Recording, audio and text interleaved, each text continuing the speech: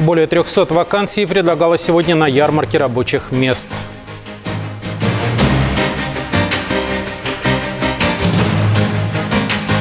Августовская конференция учителей со всей области прошла сегодня в Актубе.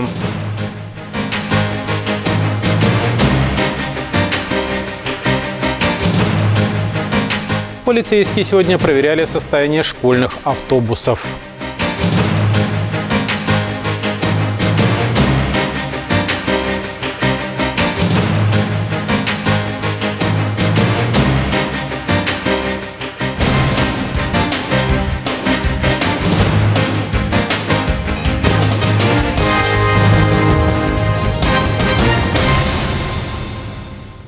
Здравствуйте! В эфире информационная программа «Факт» в студии Сергей Довголюк. Дожди с грозами ожидаются в ближайшие три дня в Казахстане, сообщает Кастак, ссылаясь на РГП «Казгидромет». В ближайшие дни на большей части республики синаптическую ситуацию продолжит формировать северо-западный циклон, сохраняя неустойчивую погоду. Ожидаются дожди с грозами, шквалистым ветром. В северной половине возможно выпадение града. Сильные дожди ожидаются 17 и 19 августа на северо-западе, 18-19 августа на севере, востоке и юго-востоке Казахстана, говорится в сообщении повышение. На западе республики ночью ожидается плюс 10, плюс 20, днем повышение до плюс 25-33. На северо-западе и севере страны ночью плюс 8, плюс 18, днем плюс 15-23. Синоптики представили прогноз на осень в Казахстане, передает Кастак, ссылаясь на РГП «Казгидромет». Температура воздуха на основной части Казахстана будет ниже в сравнении с прошлыми годами, а количество осадков прогнозируется на уровне нормы и больше почти во всех регионах страны, говорится в прогнозе. Теплая и малоосадочная погода продержится только в первой декаде сентября. Затем будет наблюдаться частая смена атмосферных фронтов, что приведет к неустойчивым погодным условиям на большей части республики. В сентябре средняя за месяц температура воздуха ожидается выше нормы на 1 градус на большей части республики, около нормы на западе. Количество осадков в сентябре прогнозируется около нормы и больше нормы на большей части республики. В октябре и ноябре ожидается постепенный переход от осени к зиме. Более 300 вакансий предлагалось сегодня на ярмарке рабочих мест, которая состоялась в парке имени первого президента. Активенцы могли устроиться на работу в предприятия металлургической, газовой, образовательной и других сфер. Кроме ярмарки вакансий, на площадке парка были развернуты и прилавки местных товаропроизводителей, которые получили гранты от государства. Масштабную акцию организовали сотрудники областного центра трудовой мобильности. Ярмарка вакансий была приурочена ко Дню молодежи, но не только молодые актюбинцы могли найти себе здесь работу. В числе соискателей рабочего места были и лица, стоящие на пробационном учете, и обычные горожане. В целях недопущения роста уровня безработицы на ярмарке была предоставлена возможность продуктивной и стабильной занятости. В ярмарке принимают участие безработные, самозанятые, лица с ограниченными возможностями, должники по алиментам, лица, состоящие на учете службы пробации и другие. Более 50 предпринимателей из числа получателей безвозмездных грантов в рамках господдержки э, представили свою продукцию на выставке. В организации ярмарки помогли члены молодежного крыла партии «Аманат». Они реализуют программу трудоустройства молодежи. По ней в прошлом году удалось найти работу 194 актюбинцам. В этом году планку партийцы рассчитывают поднять. В предвыборной программе партии э, указано то, что каждый год мы должны обеспечивать э, более 8 тысяч молодежи работы. Э, в этом направлении очень большую работу производят карьерные центры по всей области. В Центре трудовой мобильности сообщили, что с начала года трудоустроить удалось 36,5 тысяч жителей области. Из них 39% – молодежь. На сегодняшний день на онлайн-портале биржи труда Тюменской области размещено 3638 вакансий. Кроме ярмарки, в парке президента были развернуты прилавки товаропроизводителей из Актюбе и районов. Все они в свое время получили от государства гранты на развитие своего бизнеса. Сегодня я принесла пироги, миксы, а, свежую выпечку. А, хотела поблагодарить, что пригласили. Вот. Очень рада присутствовать на таком обширном мероприятии. Вот. Всем желаю удачи, хороших продаж. Динара Сулейманова – мать пятерых детей, один из которых с особенностями развития. Однако это не помешало нашей героине выиграть грант и открыть на дому цех по выпечке. Я участвовала в программе «Бизнес Бастау». Получается, второй поток в 2023 году. Вот, выиграла грант миллион триста восемьдесят тысяч. Вот. На это приобрела э, необходимую э, инвентарь, также оборудование. И сейчас уже в протяжении года э, этот, работаю. Уже есть свои клиенты постоянные. На прилавках были представлены хлебобулочные изделия, копченая рыба и котлеты, пироги, швейная продукция и многое другое. Некоторые продавцы в честь ярмарки выставляли товары по сниженным ценам. Влад Ругушев, программа «Факт». Августовская конференция учителей со всей области прошла сегодня в Актобе. До начала нового учебного года осталось две недели, и в ходе встречи обсуждалась готовность школ и учебный план на год. На первом плане обсуждение вопросов цифровизации, ее внедрения в школьные процессы. Конференция организована в Центре искусств. Цифровые технологии в школе тоже осуществляются. В школе есть STEM-лаборатория, где дети по предметам э, математического, э, естественного цикла математического естествознания занимаются разработками проектов, связанных с э, цифровыми технологиями. Дети занимаются э, робототехникой, дети занимаются в телестудии, где осуществляется э, проект телестудия Кубда ТВ. В конференции приняли участие около 1200 учителей. В ходе мероприятия педагогам были вручены нагрудные знаки имени Ибрая Алтансарина, отличник образования, ветеран труда и благодарственное письмо от имени Акима области. Кроме того, в ходе конференции выбирали организацию, в которой продемонстрировали лучшие показатели по цифровизации. Победу одержали сотрудники Хабдинской и Казахской средней школы, за что им вручили денежный сертификат от Акима области на сумму 13 миллионов тенге. В каждой школе нашего города должен быть как минимум один школьный автобус. Такое правило озвучили сегодня полицейские, которые проверяли состояние транспорта для школьников. Проверка проходила на парковке рядом с мечетью Нургасыр, и сюда подогнали 80 автобусов, которые с началом учебного года будут транспортировать учеников. У их водителей проверяли наличие противопожарного оборудования, разрешительных документов, меднаборов и прочего. В актюбинских школах сейчас используются автобусы Марок Пас и Golden Dragon. Вне зависимости от года выпуска, каждый такой автобус должен раз в полгода проходить техосмотр, сообщили полицейские. Сегодня перед мечетью Нургасыра они проверили 80 единиц школьного общественного транспорта. У каждой школы должен быть автобус. Да, да, у каждой школы есть закрепленные автобусы государственные, а где нет, есть э, по, это, по договору автобусы, часики перевозят. То есть мы тоже их права и обязанности разъяснили, э, проводили э, беседу на профилактику, что должен э, делать водитель. Необходимо пройти медработника, получить путевой лист, посмотреть техническое состояние автобусов. В случае выявленных нарушений правоохранители дают водителю предписание. И если в течение недели недочеты не будут устранены, то за это полагается штраф в 10 МРП и запрет на эксплуатацию проблемного транспортного средства. В ходе проверки у некоторых автобусов были выявлены такие пробелы, как нерабочие аварийные двери и шины разных типов. Такие же проверки полицейские проводят и в районах в преддверии нового учебного года. Влад Ругушев, программа «Факт». В Алматы прошли публичные обсуждения по вопросу строительства АЭС, передает спутник Казахстана. Собравшиеся в какой-то момент стали бурно обсуждать тему, когда дискуссия переросла в словесную ссору и даже больше перепалку. Напомним, общественное обсуждение строительства первой АЭС проходит в Казахстане с октября 2023 года. Мероприятия прошли уже в нескольких городах республики. Вопрос о строительстве АЭС будет решаться на общенациональном референдуме.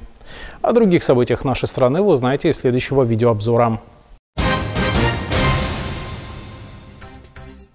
Костак сообщает, премьер-министр Алажас Бектенов поручил создать оперативный штаб по проведению уборочной кампании для координации и контроля между профильными министерствами, акиматами и аграриями под руководством вице-премьера Серика Жумангарина. По информации Минсельхоза, готовность сельскохозяйственной техники на сегодня составляет 98%. Бектенов поручил до 10 сентября освободить элеваторы от остатков урожая прошлого года. На сегодня убрано 928 тысяч гектар зерновых и зернобобовых культур, или 5,5%. При средней урожайности 19,3 центнера на гектар намолочены 1,8 миллионов тонн зерна. Также собрано 418 тысяч тонн картофеля, 940 тысяч тонн овощей, сообщили в правительстве.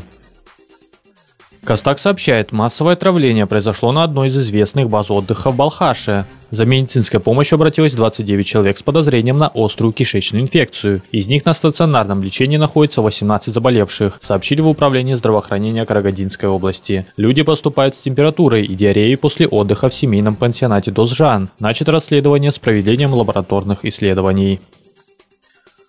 Мальчик отравился ацетоном в экибастузе, передает Костак. Пострадавший ребенок 2019 года рождения. Предварительный диагноз – отравление химическим веществом. Доставлен в экибастузскую городскую больницу. Сообщили на Павлодарской областной станции скорой медпомощи. Мальчика доставили в больницу из детского сада с химическим ожогом ротовой полости и глотки средней степени. Его состояние оценивают как средней степени тяжести. В ходе служебной проверки установлено, что помощник воспитателя детского сада оставила бутылку с химической жидкостью в моечной. Несовершеннолетний взял бутылку бутылку, облился и сделал глоток. В настоящее время ведутся следственные действия. По их итогам будут приняты соответствующие меры, прокомментировали в отделе образования Экибастуза. Костак передает, в Алматы подросток за рулем Яндекс Такси попал в ДТП и сильно пострадал. Серьезно пострадал водитель автомашины Kia Cerato, который, выезжая со второстепенной улицы на главную, проигнорировав требования дорожного знака, не уступил дорогу Лексусу и допустил столкновение. Пострадавшему водителю нет 18 лет. Полиция будет разбираться по факту передачи руля. Возбуждено уголовное дело. Костак сообщает, антикоррупционная служба Казахстана пообещала вознаграждение за информацию об Азамате Капенове. За совершение тяжкого преступления мошенничества разыскивается гражданин Российской Федерации. Капенов Азамат, 1978 года рождения, уроженец Киргизской республики. Мера пресечения – содержание под стражей. Вознаграждение и анонимность гарантируются, сообщили в Антикоре. Напомним, 14 августа Капенова объявили в межгосударственный розыск. Согласно распространяемой информации, Капенов был женат на старшей дочери Масимова. Костак со ссылкой на пресс-службу Министерства транспорта сообщает, что билеты на поезд подорожают в Казахстане. В стране курсирует 140 пассажирских маршрутов. Повышение тарифа коснется 62 из них. Это необходимо для обновления парка вагонов, улучшения сервиса оказываемых услуг и повышения заработной платы работникам, дополняется в сообщении. Костак передает, в поезде номер 43 с сообщением Кустанай-Алматы выявили 14 нарушений. Речь идет о поезде номер 43 дробь 44 в направлении Кустанай-Алматы, обслуживаемый ТО Турксип Астана. Компания должна в течение 10 дней устранить эти нарушения. Комитет железнодорожного и водного транспорта хочет пересмотреть правила предоставления субсидий перевозчикам пассажиров. В Казахстане курсирует 110 социально значимых регулярных поездов. Комитет обещает проверить остальные поезда до конца лета. Сейчас на Рика ТВ небольшой блок рекламы и далее в программе «Факт» вы увидите. Всех пострадавших от паводка в Айтикибийском районе обеспечили жильем.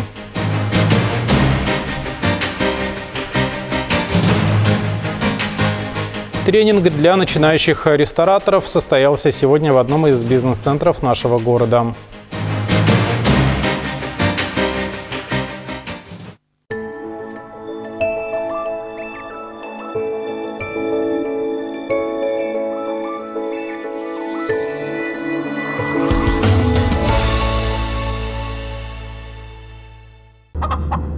Aviasales KZ. Поиск дешевых авиабилетов.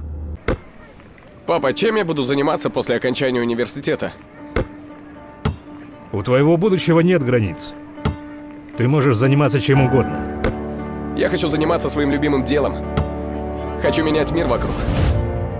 Вдохновлять людей и создавать что-то действительно ценное. Но смогу ли я? Конечно. Ты можешь стать предпринимателем прямо как я. Точно. Могу создать свое приложение. Или помогать нуждающимся. А еще могу открыть свою школу. Я хочу помогать людям становиться увереннее. Хочу, чтобы каждый мог быть услышанным. Может, ты хочешь обучать людей ораторскому искусству? Самое главное, я тебя всегда поддержу. Измени свое будущее и стань предпринимателем вместе с экосистемой ERG. Гепатит А – опасная и тяжелая инфекция. Вирус гепатита проникает в организм через грязные руки, зараженную воду и продукты, через контакт с больным человеком. Вирус поражает печень, угрожая здоровью и жизни. Особенно опасен гепатит для детей – Симптомы болезни – высокая температура, ломота в суставах и мышцах, пожелтение кожи и склеры глаза, головная боль, потеря аппетита. Болезнь сложно и долго лечить, но можно избежать заражения. Мыть руки, соблюдать гигиену, не пить из открытых источников и проводить термическую обработку продуктов. Основные правила профилактики. Оградите от опасности детей. Сделайте прививку. Вакцинация по национальному календарю прививок проходит с двух лет. 40 случаев гепатита А с начала года в октябре – слишком высокая цена за беспечность. Защитите себя и своих близких. Aviasales KZ. Поиск дешевых авиабилетов.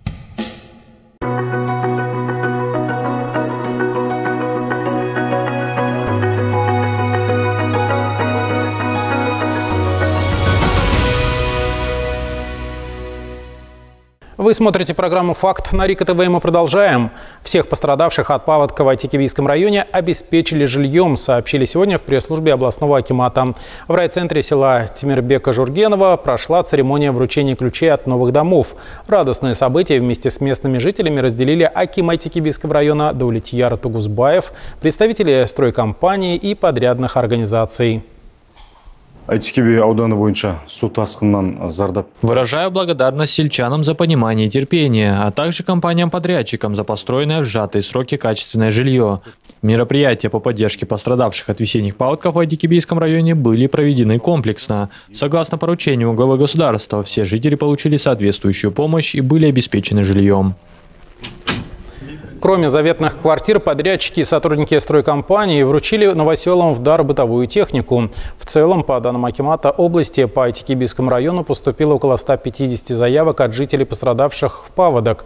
По результатам технической оценки комиссии власти выделили деньги на ремонт 64 домов. 51 дом был признан непригодным для проживания. В итоге 25 семей два месяца назад получили жилье, приобретенное за средства благотворительного фонда на вторичном рынке. Остальные 26 семей предпочли получить новый дом. На строительство домов было выделено 751 миллион тенге. Жильцы одного из октябрьских домов сегодня пожаловались на то, что местный предприниматель закрыл забором один из выездов со двора. В доме живет много пенсионеров и инвалидов, которым теперь проблематично покинуть двор. По их словам, забор затрудняет доступ к дому машин пожарных и скорой помощи. При этом сам предприниматель утверждает, что действует в рамках закона и забор находится на его земле. 76-летний куляш Жикешевой трудно ходить, и бабушка использует трость. Год назад на въезде в ее дом по адресу улица Алтенцарина, 15А местный предприниматель установил забор. В заборе он оставил для прохожих открытую калитку, но в нее входить сложно людям с больными ногами и слепым, которые живут в данном доме. А вот, пожалуйста, один чуть не упал. Осенью и зимой путь через калитку становится еще сложнее из-за луж и сугробов, говорят жильцы. Возникают и сложности после вызова службы скорой помощи. И переходить трудно, особенно ночью, когда куда-нибудь идешь, возвращаешься поздно чуть-чуть. И вот спотыкаешься тут. А то было раньше открыто же тут все. Нормально было хождение. А сейчас тут перекрыли, закрыли и все. А в обход идти вам неудобно? Ну, если с этой стороны сходим с машины, сойдем, конечно, ближе здесь. Я вообще не вижу ночью. Днем еле хожу, слепой. При этом к дому есть другой входной путь со стороны улицы Этикиби, но для пожилых людей это лишние 100 метров ходьбы. Куляш Жакешева говорит, что забор установил владелец торгового центра «Казахстан», который стоит по соседству. А за то, чтобы открыть заезд, предприниматель якобы требует жильцов ежемесячную плату в 100 тысяч тенге. Он требует с нас 100 тысяч за то, что, что мы здесь пешком ходили, э, будет открывать. А мы сказали, у нас таких денег нет, одни пенсионеры живем. Слепые у нас есть, хромые есть, вон я в палках стою. Сирикали Абдраимов сегодня опроверг информацию, что требовал денег жильцов, и объяснил, что данную сумму должны платить сотрудники ТО, которая расположена во дворе дома номер 15. Товариществу якобы тоже нужен данный проезд для своего транспорта, но договоренность достигнута не была. Также предприниматель утверждает, что забор им был установлен законно.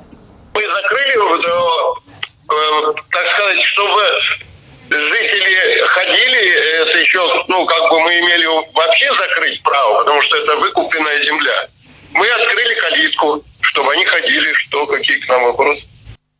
Забор Серик Кали Абдримов установил год назад, потому что не хочет, чтобы через его объект курсировали автомобили. С мнением жильцов он не посчитался и, по его словам, не был обязан. Влад Рогушев, Жаслан Жубаев, программа «Факт». Тренинг для начинающих рестораторов состоялся сегодня в одном из бизнес-центров нашего города. Актюбинцы, работающие или планирующие работать в сфере общепита, могли получить ценные знания от технолога из Астаны Эльмиры Гайнулиной. Событие организовано сотрудниками городского отдела предпринимательства. Приглашен спикер э, с города Астаны э, Гайнулина Эльмира Сергеевна, которая в своей э, деятельности, в своей работе значит, открыла более 40 значит, заведений в целом. В мероприятии участвуют более 45 участников. Участие все мероприятия, проводимые отделом предпринимательства, проводятся на бесплатной основе. Генеральный директор Бориса Борис Иванищев высказался о задачах команды на предстоящий сезон, сообщает Вести КИЗ со ссылкой на сайт КХЛ. В минувшем сезоне клуб из Астаны не смог попасть в плей-офф КХЛ, заняв последнее, 12 место Восточной конференции. Цитата. «Мы поменяли всех легионеров, пригласили более опытных ребят, которые играли в НХЛ, поменяли вратаря с Паскуаля на Матсона у нас будет схема 1 плюс 6 по игрокам из дальнего зарубежья. После двух неудачных сезонов сейчас мы не рассматриваем никакую другую задачу, кроме как попасть в плей-офф и пройти там как можно дальше. Мы внесли изменения в состав, сменили тренерский штаб. Считаю, у команды будет больше возможностей для достижения цели в грядущем сезоне приводят слова Иванищева на сайте лиги. Напомним, в межсезоне Борис назначил нового главного тренера, которым стал Дэвид Немировский. Новый сезон останчане начнут домашним матчем против нефтехимика, который пройдет 4 сентября. О других новостях спорта вы узнаете сразу после рекламы. Не переключайте.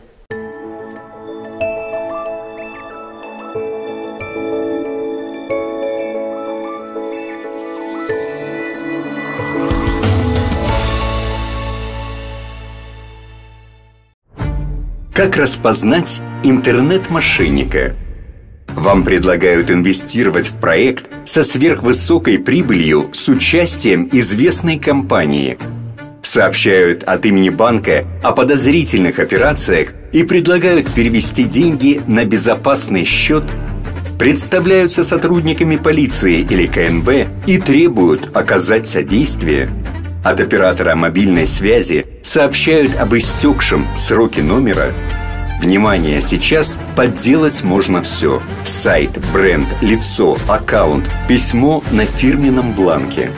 Лучшая защита от мошенника – не делать ничего. Не переходить по ссылкам, не верить нереальным обещаниям, не сообщать персональные данные и коды из СМС – просто игнорировать сообщение или сразу прервать разговор. Ваши деньги в вашем телефоне, и потерять их можно в один клик.